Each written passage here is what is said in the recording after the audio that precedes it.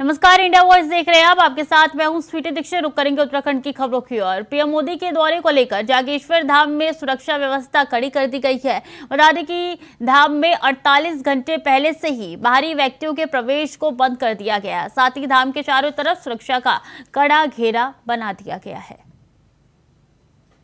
धाम जहाँ पर प्रधानमंत्री नरेंद्र मोदी आ रहे हैं धाम में सुरक्षा व्यवस्था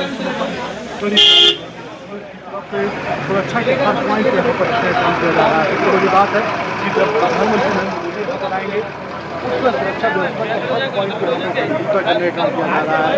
उस समय ज़ीरो जोन यहाँ पर रहेगा, यानी बाहर का कोई भी लोग यहाँ पर नहीं आ सकता। ये कह सकते हैं कि पिछले 24 घंटे से पहले ये पाबंदी यहाँ पर लगा दी थी कि बाहर के जो लोग होंगे, वो किसी भी तरीके से मंदिर में प्रवेश नहीं कर पाएँगे, क्योंकि प्रधानमंत्री का आगमन हो रहा है तो ऐसे में सुरक्षा व्यवस्था पूरी तरह से कड़ी रखने का काम किया जा रहा है। चप्पे चप्पे पर पुलिस रखी गई है।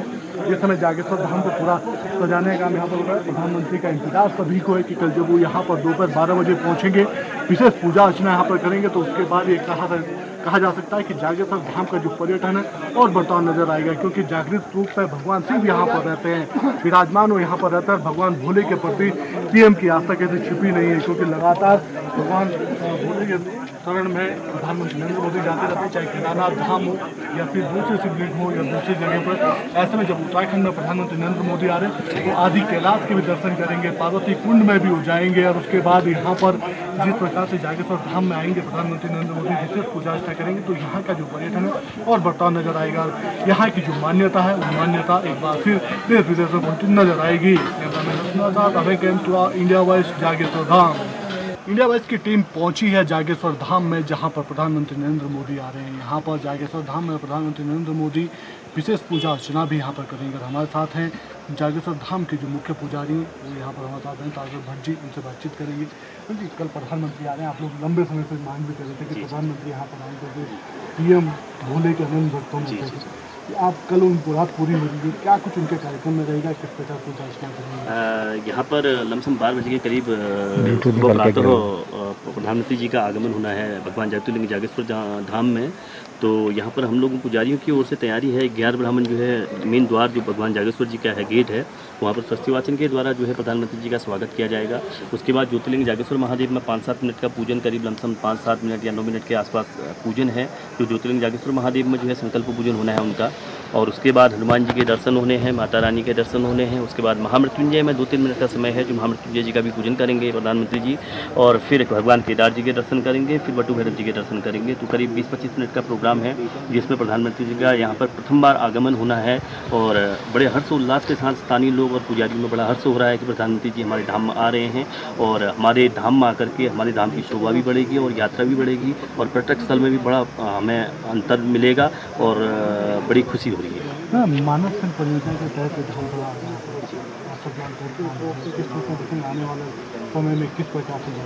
हम लोगों? को आने वाले समय में बड़ा बेनिफिट होगा। स्थानीय लोगों को और व्यवसायियों को जो लोग बाहर जा कर के काम करते थे तो मुझे ये लगता है कि हमारे स्थानीय लोग जो हैं, यहाँ पर अपना स्वयं रोज़गार कर सकते हैं और जो बेरोजगारी का आलम होता है, वो ख़त्म हो सकता है और स्थान, स्थानीय लोगों को रोज़गार के अवसर बढ़ेंगे। और भगवान ज्योतिर्लिंग जागेश्वर जी के धाम में प्रधानमंत्री का आगमन है और खुशी है।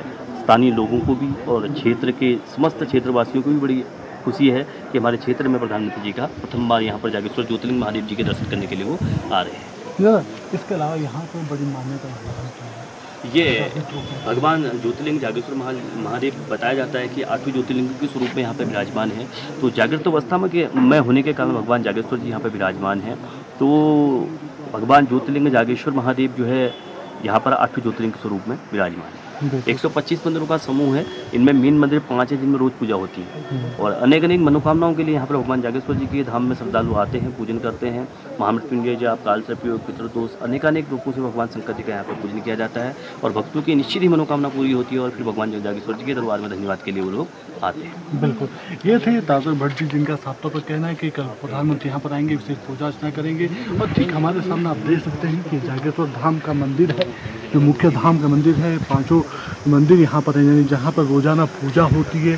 125 छोटे छोटे मंदिरों का समूह जो पत्थरों से निर्मित है, दारुल वन है।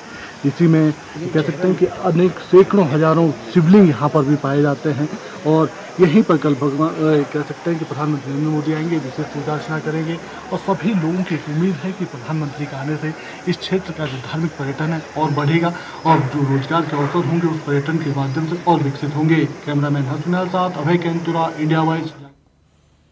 प्रधानमंत्री नरेंद्र मोदी की 12 अक्टूबर को कुमायूं में जनसभा होने जा रही है। बता दें कि जिसको लेकर भाजपा की तैयारियाँ तेज हो चुकी है, प्रधानमंत्री कार्यालय ने मंगलवार 10 अक्टूबर को एक बयान में बताया कि पीएम मोदी 12 अक्टूबर को सुबह करीब साढ़े आठ बजे पिथौरागढ़ ज़िले के जोलिंग कोंग पहुँचेंगे।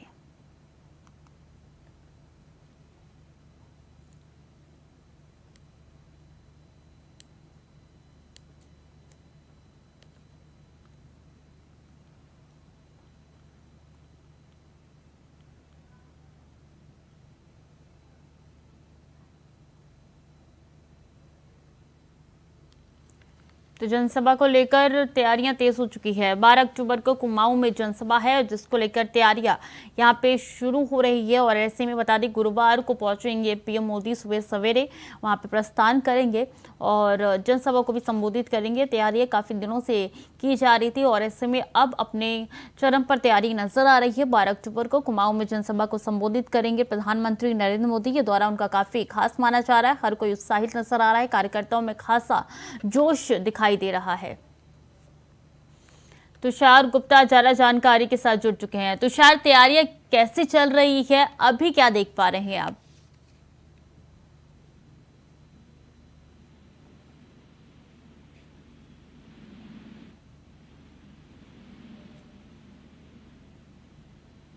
तुषार, आवाज़ मिल पा रही है? दोबारा जोड़ने की कोशिश करेंगे तुषार को, लेकिन बता दें कि प्रधानमंत्री पहुँच रहे हैं गुरुवार को ऐसे में उत्तराखंड में तैयारियाँ इस वक्त अपने चरम पर है। काफ़ी दिनों से तैयारी की जा रही थी। खुद सीएम धरातल पे उतर के तैयारियों का जायजा ले रहे थे। प्रधानमंत्री मोदी जनसभा को भी संबोधित करेंगे। उसके लिए भी काफ़ी संख्या में लोग आएँगे उनको सुनने के लिए। काफ़ी उत्साहित, न सिर्फ़ कार्यकर्ता, बल्कि वहाँ की जनता भी नज़र आ रही है, क्योंकि प्रधानमंत्री का काफ़ी दिनों बाद ये उत्तराखंड दौरा है और ऐसे में एक एक चीज़ को जांचा और परखा जा रहा है ताकि कोई भी कमी इसमें ना दिखाई पड़े। ऐसे में बता दें, इससे पहले अमित शाह भी पहुँचे थे और सीएम योगी आदित्यनाथ का भी दौरा था, शिवराज सिंह चौहान भी पहुँचे थे तो कई बड़े नेता जो है, वो पहुँच रही हैं, मंत्रीगण पहुँच रही हैं और देवभूमि में जाके लगातार काम जो है, वो बीजेपी के आगे बढ़ते हुए नज़र आ रहे हैं। इससे पहले अमित शाह भी गए थे तो उन्होंने यहाँ पे कार्यकर्ताओं के साथ बैठक भी की थी और जीत का मंत्र भी दिया था। एक बार फिर से तुषार हमारे साथ जुड़ चुके हैं। तुषार, क्या तैयारियाँ चल रही है? कितनी पूरी हो चुकी है? कितनी बाकी है? क्या अपडेट देखिए, उत्तराखंड बिल्कुल तैयार है प्रधानमंत्री नरेंद्र मोदी के दौरे के लिए और तमाम तैयारियाँ पिथौरागढ़ और अल्मोड़ा ज़िले में देखने को मिल रही है और प्रधानमंत्री के लिए खुद मुख्यमंत्री पुष्कर सिंह धामी और तमाम जो प्रदेश के मंत्री हैं या फिर कहा जाए जो भाजपा के कार्यकर्ता और नेता हैं बड़े, वो वहाँ पर पहुँचे हैं और तमाम तैयारी, तैयारियाँ वहाँ पर की जा रही है क्योंकि जागेश्वर धाम जाएँगे। साथ साथ जो ओम पर्वत है या फिर कहा जाए जो पार्वती कुंड है, वहाँ पर जाकर पूजा अर्चना करेंगे, आदि कैलाश के दर्शन करेंगे। तो एक धार्मिक तौर पर भी कहा जाए तो प्रधानमंत्री यहाँ पर पहुँच रहे हैं, क्योंकि 2023 के अक्टूबर माह में भी प्रधानमंत्री यहाँ पहुँचे थे और केदारनाथ और बद्रीनाथ के जो धाम है, वहाँ पर उनके दर्शन किए थे और उसके बाद करीब थ्री थाउज़ेंड फोर हंड्रेड की करोड़ की पूरी परियोजना यहाँ पर पूरी शिलान्यास किया गया था, जिसमें से केदारनाथ के जो रोपवे है, हेमकुंड साहिब का जो रोपवे है वो शुरू किया उसका शिलान्यास किया गया था। तो अब जब प्रधानमंत्री नरेंद्र मोदी आ रहे हैं, ऐसे में क्यों क्यों मतलब कहा जा सकता है कि सौगात एक बार फिर मिलने जा रही है? करीब चार हज़ार दो सौ करोड़ की ये पूरी सौगात उत्तराखंड को फिर दोबारा मिलने जा रही है, जिसमें कई योजनाएँ हैं क्योंकि मानस खंड बनना है क्योंकि जागेश्वर धाम भी उसमें सौंदर्यकरण में ऐसे में जो पहली किस्त है इस सौंदर्यकरण को लेकर ये जो मानस खंड बनना है, पूरा कॉरिडोर बनना है, जो कुमाऊं के क्षेत्र के मंदिर है, उनसे कनेक्टिविटी को लेकर ऐसे में उन्हें कनेक्ट करने के लिए जो पूरी जो सौगात है, वो दी जा सकती है और मुख्यमंत्री पुष्कर सिंह धामी ने भी हिसाब कहा है।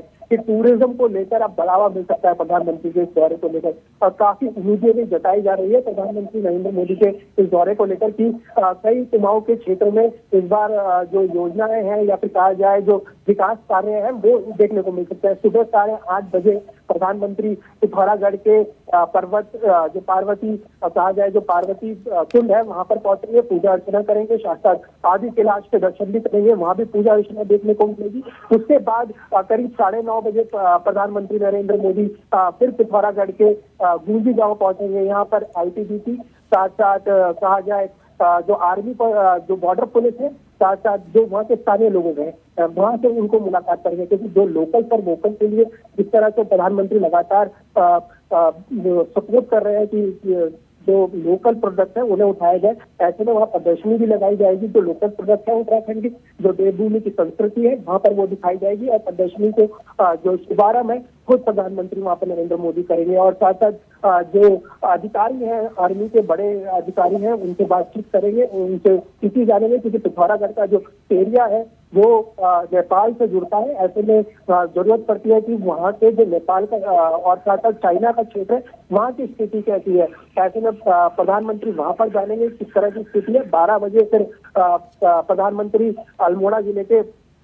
जागेश्वर धाम पहुँचेंगे और यहाँ पर आप पूजा अर्चना करेंगे। कुल मिलाकर गुरुवार की सुबह प्रधानमंत्री पहुँच जाएँगे देवभूमि में तुषार आप चूँकि धरातल पे इस वक्त बारीक नज़र रखे हुए हैं हर एक चीज़ की परख करें किस तरीके से तैयारी आगे बढ़ी है कितनी बाकी है और कितनी होनी है। इन सब जो परख है और रिपोर्टिंग है आपकी उसमें आपने क्या देखा? जनता के अंदर किस तरीके का उत्साह नज़र आ रहा है? कार्यकर्ताओं में उत्साह तो है नो डाउट लेकिन जनता में किस तरीके का जोश हाई नज़र आ रहा है? देखिए, अगर प्रधानमंत्री नरेंद्र मोदी की बात की जाए तो विश्व के सबसे प्रसिद्ध प्रधानमंत्रियों में उनका नाम आता है। और ऐसे में अगर आप प्रदेश या उत्तराखंड में जब भी प्रधानमंत्री आते हैं तो लोगों के अंदर उत्साह बिल्कुल नज़र आता है। और प्रदेश की जनता भी प्रधानमंत्री के लिए पूरी तैयार है फूलों से स्वागत किया जा सकता है। प्रधानमंत्री का क्योंकि जनसभा बहुत बड़ी जनसभा वहाँ पर करेंगे। ऐसे में जो जोश है पिथौरागढ़ के अंदर वो साफ़ तौर पर नज़र आ रहा है। पिथौरागढ़ की जनता प्रधानमंत्री को देखने के लिए काफ़ी उत्साह में है। क्योंकि धार्मिक तौर पर भी अगर प्रधानमंत्री का अगर दौरा देखा जाए तो जागेश्वर धाम जाएँगे पार्वती आ, जो कुंड है वहाँ पर भी दर्शन करेंगे। क्योंकि अगर बात की जाए पहाड़ की उत्तराखंड की तो देवभूमि है। ऐसे में जो लोग हैं सीधा भगवानों से जुड़ते हैं और खुद प्रधानमंत्री यहाँ पर भगवानों से जुड़ने आ रहे हैं। ऐसे में जो जनता है प्रधानमंत्री की तरफ़ को देखने के लिए काफ़ी उत्साह है और उनके जो आ, कहा जा सकता है जो जनसभा में वो भाषण देंगे उनके सुनने के लिए भी काफ़ी उत्साह है। क्योंकि कई लोग ऐसा भी सुनने में आ रहे हैं जो आम जनता है वो देहरादून या फिर हरिद्वार से यहाँ से जागेश्वर जा रही है सिर्फ़ प्रधानमंत्री को। सुनने के लिए ऐसे में प्रधानमंत्री के लिए जो कहा जा सकता है जो जनता है काफ़ी उत्साह में नज़र आ रही है। जी। जी बिल्कुल। और प्रधानमंत्री भी खुद उत्साहित नज़र आते हैं। जब जब उत्तराखंड पहुँचते हैं और वो कहते भी है देवभूमि से उनका पुराना नाता है। आ, बात की जाए तो क्या रात्रि विश्राम वो करने वाले हैं? क्योंकि जानकारी आई थी चमोली में रात्रि विश्राम वो कर सकते हैं लेकिन सुरक्षा कारणों के कारण सुरक्षा कारणों की वजह से वो टल चुका है। क्या अपडेट है?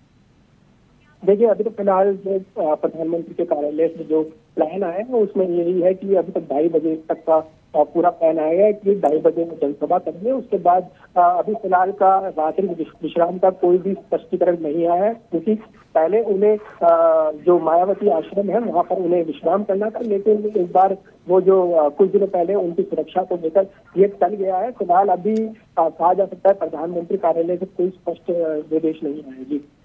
ठीक है तुषार, नज़र बनाए रखिए पल पल की अपडेट आपसे लेते रहेंगे। तब तक के लिए बहुत बहुत धन्यवाद। खबरों में आगे बढ़ेंगे। देहरादून के हाथी बटकला में सेट्रियो मॉल के बाहर एक सड़क हादसा हो गया।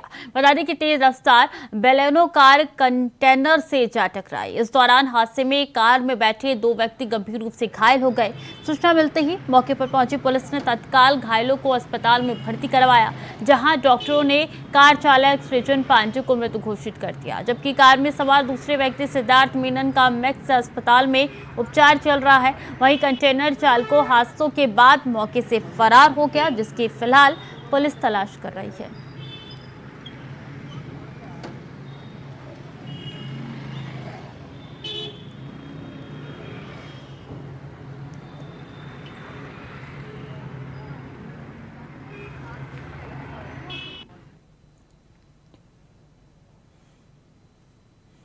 और इस बीच अहम जानकारी, प्रदेश में निकाय चुनाव चलने की संभावना है। पाँच दिसंबर को समाप्त हो रही है निकायों का कार्यकाल।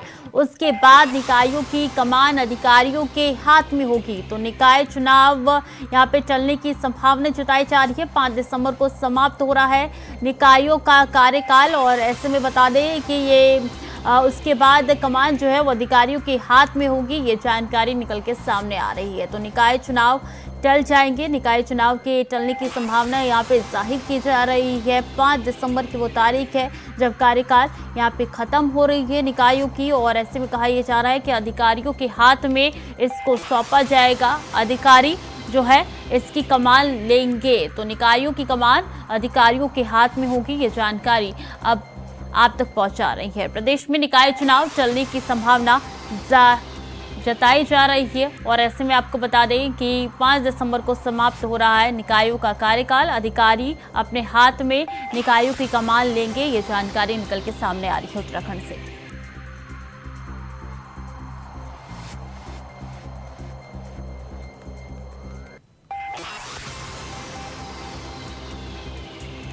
तो प्रदेश में निकाय चुनाव चलने की संभावना जताई जा रही है। पाँच दिसंबर को समाप्त हो रहा है निकायों का कार्यकाल। ऐसे में आपको बता दें कि अधिकारी जो है अपने हाथों में कमान लेंगे निकायों की।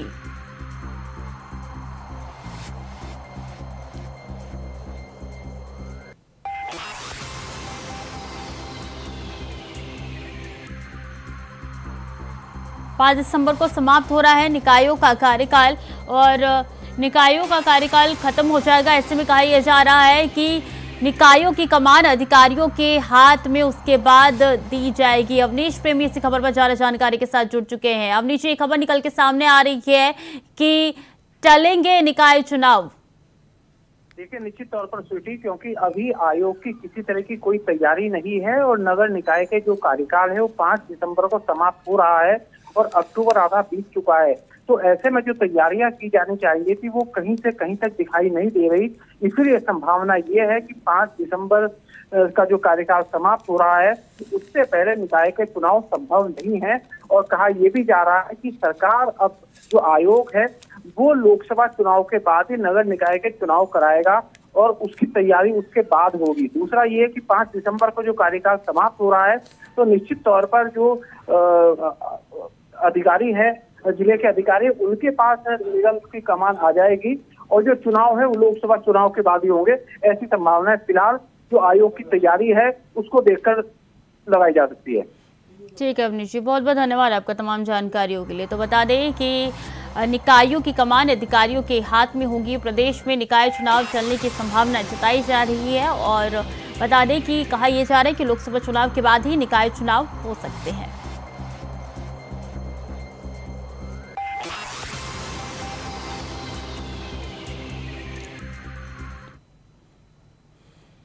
खबरों में आगे बढ़ते हैं। देहरादून आरटीओ ने ट्रैफ़िक व्यवस्था को सुचारू रखने और स्कूल जाने वाले बच्चों की सुरक्षा को देखते हुए आरटीओ ने स्कूल वैन वेरिफिकेशन ड्राइव चलाया है जिसमें सभी वैन संचालकों के संचालित संबंधी कागज़ और वैन को चेक किया गया। बता दें कि जिस भी वैन में किसी प्रकार की कोई भी कमी मिली उसे आ, सभी ज़रूरी चीज़ों को पूरा करने के लिए कुछ दिन का वक्त दिया गया। साथ ही खास तौर पर फ़र्स्ट एड किट और फायर एक्सटेविशर के संबंध में सभी चालकों को जानकारी दी गई।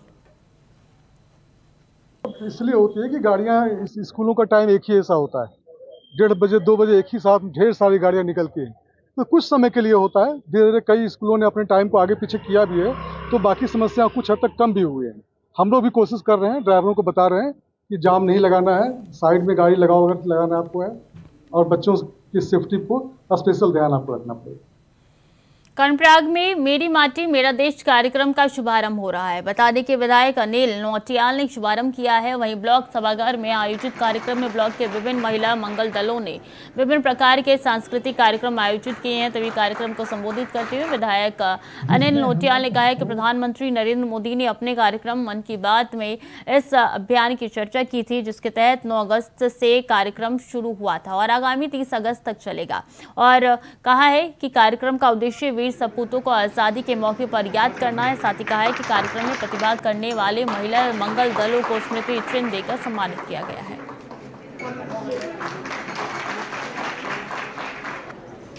इस कार्यक्रम में आज के हमारी चौरानवे गाँव सभाओं से जो मिट्टी मेरी माटी के तहत जो एकत्रित की गई थी, उसका आज सारे लोगों ने मिल करके एक कलश में उसको स्थापित किया। और अब ये अमृत कलश हमारा जो है स्टेट राज्य के लिए जाएगा। जो मेरा बेटी मेरा देश का कार्यक्रम था, हमारा बहुत ही सफल कार्यक्रम रहा, जो कि आज हमारे नरेंद्र मोदी जी का ये जो कार्यक्रम, जो प्रत्येक ग्राम पंचायतों से लेकर, विकास खंडों से लेकर, राजधानी में जो अमृत अमृत सरोवर वाटिका बनना है, उसका उद्देश्य यही था कि हर गाँव से थोड़ा थोड़ा मिट्टी, हर प्रत्येक गाँव से जाना है, जो कि हमारे वीर शहीद हुए हैं। उनके लिए एक अच्छा सा अमृत सरोवर बन सके। उत्तराखंड के जागेश्वर धाम में पीएम मोदी के आगमन की तैयारी पूरी हो चुकी है और धाम सजाने का काम चल रहा है। बता दें कि इसी धाम में पीएम मोदी भगवान भोले के जागृत स्वरूप की पूजा अर्चना करेंगे और जागेश्वर धाम दारुल वन की तलहटी पर, जहाँ 125 छोटे छोटे मंदिरों का समूह मौजूद है। बता दें कि पीएम मोदी स्थानीय लोगों से भी मुलाकात करेंगे। तो वहीं हमारे संवाददाता पीएम के आगमन को लेकर हुई तैयारियों का जायजा लेने पहुँचे।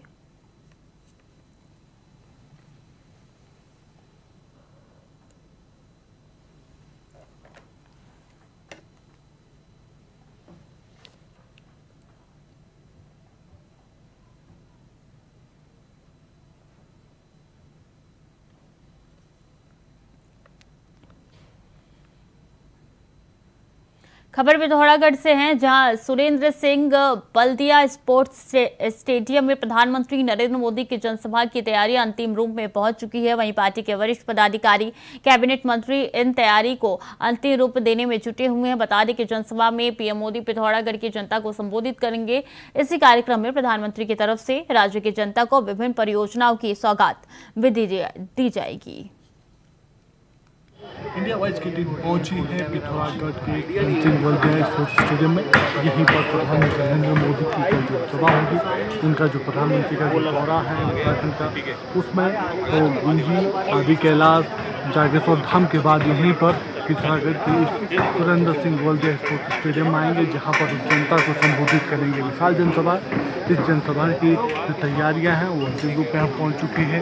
जो कैबिनेट मंत्री हैं, ये कह सकते हैं कि प्रधानमंत्री कार्यक्रम के लिए जो जनपद के जो प्रभारी मंत्री बनाए गए गणेश जोशी वो यहाँ पर पहले से ही पिछले दिनों से यहाँ जमाए हुए हैं वो लगातार तैयारी यहाँ पर देख देख रहे हैं। जो पार्टी के जो पदाधिकारी हैं कार्यकर्ता उनको लगातार दिशा निर्देश दे रहे हैं। और सामने पूरा स्टेडियम है यानी इसी स्टेडियम में भारी जनसभा को कल प्रधानमंत्री नरेंद्र मोदी संबोधित करेंगे। सबसे बड़ी बात है कि पिथौरागढ़ के इस सीमांत जनपद में आकर प्रधानमंत्री नरेंद्र मोदी आगामी लोकसभा चुनाव को लेकर एक संदेश देना चाहते हैं कि जो वायलेंस ब्रिज की योजना बनाई गई है राज्य के लिए है। और राज्य के ये कह सकते हैं कि जनसभा में विकास के लिए समर्पित होकर कई परियोजनाओं की सौगात देंगे ये मंच है, हमारे सामने मंच है, जहाँ से कल प्रधानमंत्री नरेंद्र मोदी संबोधन अपना देंगे। पिथौरागढ़ की जनता, उसके आसपास क्षेत्रों की जनता है। वो उस जनता को संबोधित करेंगी। सबकी, सब लोगों की चाहत यही है, सब लोग यही सुनना चाहते हैं कि प्रधानमंत्री क्या कुछ उनके सरकार लिए लेकर आए हैं। उन सब चीज़ों की तैयारियाँ हमें यहाँ पर प्रदर्शन समझा जा सकता है कि तैयारियाँ पूर्ण रूप होने की तो अंतिम कगार पहुँच चुकी है। और सबकी कोशिश, सब इंतज़ार, सबका यही है कि जब कल प्रधानमंत्री यहाँ पर आएँगे तो क्या कुछ वो अपने कार्य से राज्यवासियों को सौगातें देता है, खासतौर पर इस क्षेत्र के लिए सीमांत जनपदों के लिए कौन सी विकास की योजनाएँ होंगी जिससे यहाँ का विकास और तेज गति से आगे बढ़ सके। कैमरामैन हुसनैन साथ अभय केंद्रा इंडिया वाइज फ़िलहाल के लिए देवभूमि समाचार में इतना ही। खबरें लगातार जारी है। देखते रहें इंडिया वॉइस